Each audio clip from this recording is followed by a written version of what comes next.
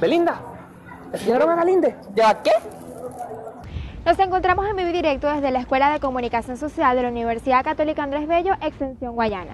Ayer en horas de la tarde fue encontrado asesinado el psicólogo Ernesto Galíndez, quien también se desempeñaba como profesor de psicología de la Escuela de Comunicación Social y además como director del grupo de artes escénicas. No se sabe con certeza cuáles fueron las causas por las cuales el sujeto decidió quitarle la vida al profesor. Mientras tanto, el grupo de investigaciones forenses venezolanas sigue a cargo de la investigación. Ahora me encuentro con la detective Patricia Salas. Buenos días, detective. Cuéntenos acerca de la información que tienen sobre los hechos. Buenos días, María Alejandra. Tenemos unos audífonos que encontramos en la escena del crimen. Presumimos que es el asesino. Esta pista fue facilitada por el profesor de historia José Dovetelle, que fue uno de los primeros en entrar a la escena del crimen. Seguiremos investigando hasta encontrar al asesino. Muchas gracias, detective. A continuación me encuentro con el profesor Alejandro Gamboa, quien se desempeña como docente de estadística de la Escuela de Comunicación Social de la Universidad Católica Andrés Bello. Vamos a conocer su opinión acerca de los hechos. Profesor, ¿qué opina acerca de los hechos ocurridos ayer? Bueno, es altamente preocupante las estadísticas que estamos manejando dentro de la Universidad Católica. Eh, y bueno, la verdad es que estoy muy preocupado. Pudo haber sido cualquiera de, de los otros profesores, pudo haber sido yo mismo. Profesor, ¿y usted sospecha de alguien? Bueno, la verdad es que a mí no me gusta incriminar a nadie, pero todo parece indicar que podría ser un estudiante. Profesor, sabe que hace poco conversé con la detective Patricia Salas eh, acerca de estos hechos y ella me comentó que posiblemente el sospechoso pudo haber dejado en la escena del crimen unos audífonos. Si eso pasara de verdad y conociera a la persona que dejó los audífonos, ¿lo delataría con la policía? Mira, obviamente prestaría toda la colaboración que se pudiera para esclarecer este crimen tan horrible con Ernesto, de verdad que sí, por supuesto. Muchísimas gracias, profesor, por su opinión y comentarnos acerca de estos hechos. Vale. Esta es la información que tenemos hasta hoy.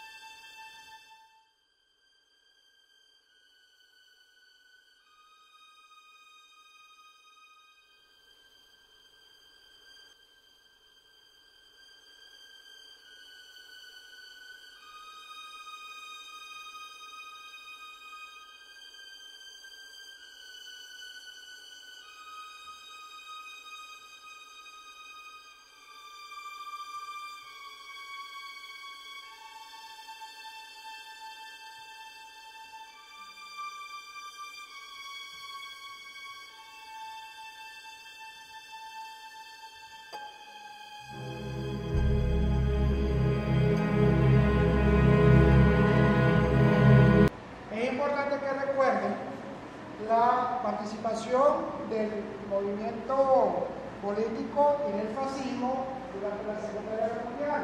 ¿Por qué? Porque el fascismo se relaciona con la extrema derecha.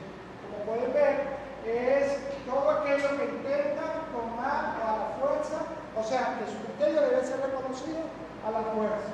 Y el último de los líderes que va a manejar eso, cuando termine la Segunda Guerra Mundial, va a ser Benito Mussolini. Como vamos a ver aquí, la gloria y caída de Benito Mussolini, el Dulce y su gobierno fascista.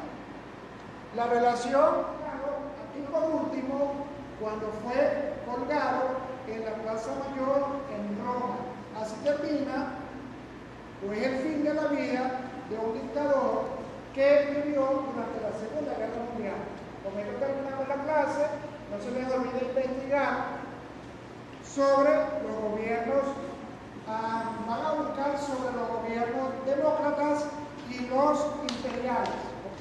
Si no hay dudas, pueden ser.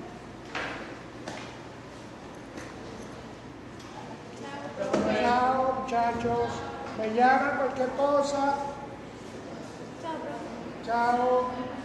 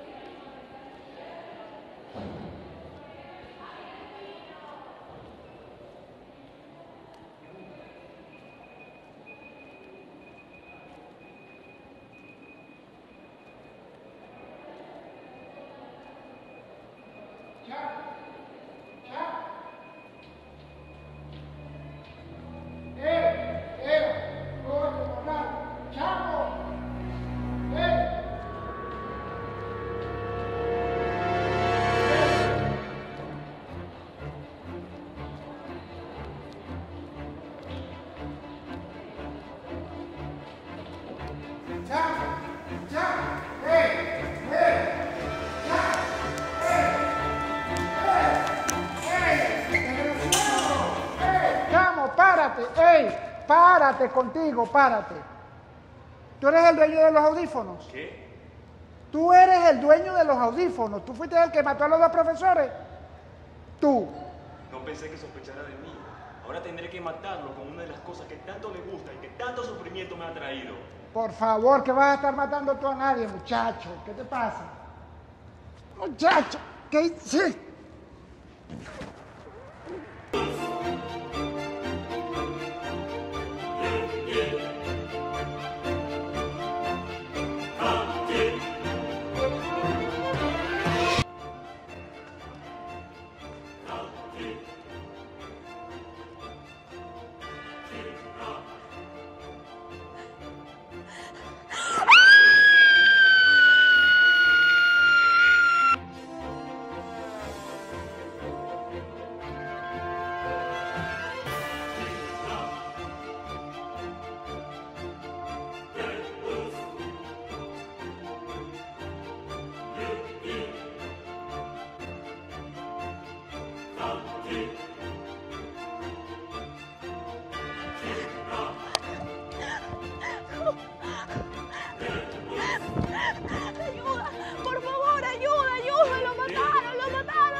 professor!